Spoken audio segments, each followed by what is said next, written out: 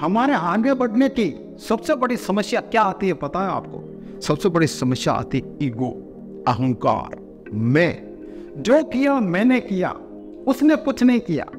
मैं हूँ जो करने वाला हूँ, ये मैं की भावना, अहम की भावना व्यक्ति को खा जाती, उसके करियर को डाउन कर देती। कोई भी व्यक्ति यह नहीं कहता कि हमने किया, हमारी टीम ने किया, जो किया, मैंने किया।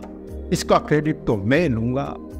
मैं दुनिया पर छाना चाहता हूँ क्योंकि मैंने अच्छा कार्य किया, मैंने अकेले किया और किसी ने नहीं किया। ये मैं की भावना, ये अहम की भावना कभी आपको आगे नहीं बढ़ने देती। एक पंचतंत्र में एक छोटी सी मोटिवेशनल स्टोरी है, अभी मैं आपको बताऊँगा कि मैं की भावना से व्यक्ति कैसे डूब जाता है, कैसे अकेला रह जाता है और कैसे उसका पतन हो जाता है। आजकल हर चीज़ आप सोबाजी करते हैं, हर चीज़।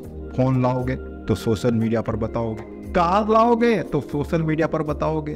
घर बनाओगे तो सोशल मीडिया पर बताओगे। और कुछ भी करोगे तो सोशल मीडिया मतलब आप दुनिया में छा जाना चाहते हो। मैं हूँ, बस मैं हूँ। दूसरे कोई नहीं। ये अहंकार की भावना छोड़ देना। ये मैं की भावना छोड़ देना। वरना आप खत्म हो जाओगे। मौन की भावना रखना मौन। कहते हैं ना कि मौन से सब कुछ सीखा जाता है। जितना ज़्यादा बोलोगे ना तो आप नहीं सीख सकते हो। सामने वाला क्या बोल रहा है? उसकी सुनने की कला सीखो, तभी आप आगे बढ़ पाओगे। पंचतंत्र में कहानी आती है। एक बार एक गाँव में बहुत अकाल पड़ता है। पशु, पक्षी, जीव, जंतु, मनुष्य सब त्राहिमाम करने लगते हैं। मनुष्य तो उस गाँव को छोड़कर दूसरे गाँव में चले जाते हैं। तालाब भी बहुत सूख चुका होता है। उस तालाब में रहने वाले जीव, जंतु भी सोचते अब हम क्या करें। बहुत तो मर जाते हैं और बहुत से दूसरी जगह चले जाते तो उसी तालाब में कछुआ होता है। उसके दो मित्र होते हैं कौवे।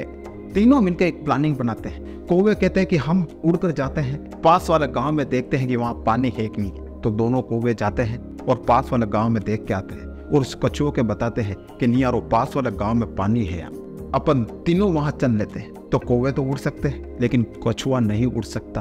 तो कछुआ उन कौवे को एक तरकीब बताता है, एक आइडिया बताता है कि एक डंडी लाओ और तुम दोनों उस डंडी को पकड़ो और बीच में मैं लटक जाता हूँ। तो अपन तीनों पास वाले गाँव में चल जाएँगे। अब देखना, तरकीब किसने बताई? कछुए ने बताई। कौवे के पास में दिमाग नहीं था। तरकीब बताई कछुए ने। ठीक है, अब तीनों अपनी प्लानिंग करते हैं और तीनों उड़ के जाते हैं। रास्ते में लोग देखते हैं कि ओ हो बहुत बढ़िया, क्या मित्रता है। और ये दोनों कौवे ने क्या दिमाग लगाया यार? कछुओं के उड़ा के ले जा रहे हैं। वाह वाह, व्यक्ति, नीचे खड़े खड़े व्यक्ति, कौवे को तारीफ़ करते हैं। जब ये बात कछुआ सुनता है ना तो उसका दिमाग खराब हो जाता है। कि यार प्लानिंग मैंने बनाई और तारीफ़ इनकी हो रही है, इनकी वाहवाही हो रही है। ये तो गलत बात है। नीचे वाले लोगों को पता चलना चाहिए कि आइडिया किसका था, ये प्लानिंग किसकी थी। बिना फालतू को क्रेडिट के कौवे ले रहे हैं। और ये कौवे मज़े ले रहे हैं, ये क्रेडिट ले रहे हैं कि इन्होंने प्लानिंग नहीं, और ये उड़ा के मेरे को ले जा रहे हैं। तो कछुआ ने सोचा, नहीं, ये बात तो नीचे वालों को बतानी ही होगी। कि नहीं प्लानिंग तो भैया मेरी थी। दिमाग तो मेरा था। ये तो सिर्फ़ मेरे को उड़ा के ले जा रहे हैं। तो वो कछुआ एकदम उस डंडी को छोड़ता है और नीचे गिरता और नीचे गिरता है तो आपको पता ही है कि वो वहीं रह जाता है, उस अकाल वाले गाँव में रह जाता है। और ना तो वो लोगों को बता पाता है कि ये मेरी क्रेडिट थी, ये मेरा आइडिया था, और वो खत्म हो जाता तो इस कहानी से आप क्या सीखते हो? कि हमेशा टीम वर्क से काम होता है। माना कि आइडिया कछुए का था, लेकिन कौवे का भी तो साथ था ना। वो दोनों भी तो मेहनत कर रहे थे ना साथ में। लेकिन क्रेडिट कौन लेना चाह रहा था। कछुआ और हुआ क्या? ज़मीन पर गिरा और अंत हुआ। इसलिए कभी मैं की भावना मत रखना। अहम की भावना मत रखना कि मैंने ये किया, मैंने ये किया। हमेशा कुछ करो तो हमने ये किया। टीम वर्क से काम करना।